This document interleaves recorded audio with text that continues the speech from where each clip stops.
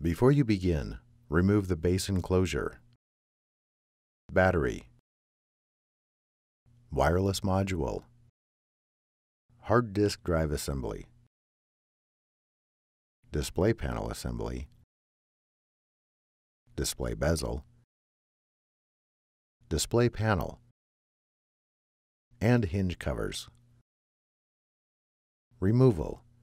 Remove the three 3mm P1 Phillips broadhead screws that secure the left display panel hinge to the display enclosure.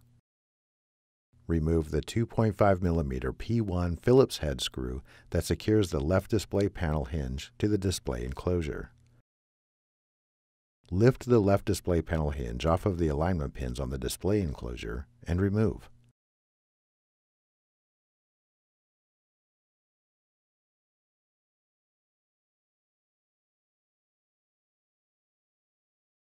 The right display panel hinge is removed in the same manner.